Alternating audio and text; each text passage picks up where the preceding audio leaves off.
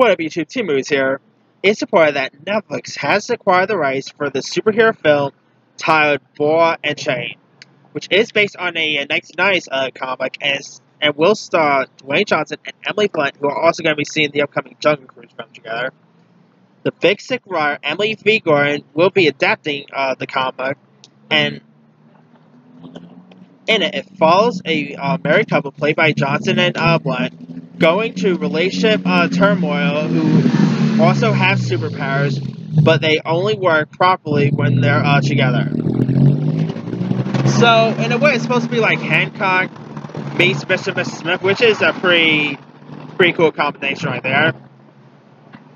Now, they kind of talked about this movie a little bit um, not so long ago, and it sounds really cool. I never really even uh, read or even heard the comic it's based on.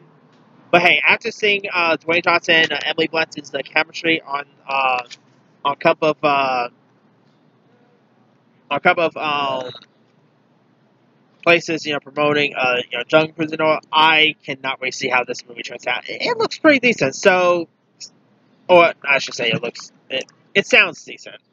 Anyway, uh, Dwayne Johnson is also going to be seeing another Netflix movie called Red Notice, which I am still a little surprised as a Netflix movie because this seriously sounds like it should have been a uh, theatrical release, but who knows? Maybe it'll uh, be a better film on Netflix. But uh, as I've said, uh, Dwayne Johnson has a movie called Red Notice, uh, which you know with Gal Gadot, Ryan Reynolds, which sounds good.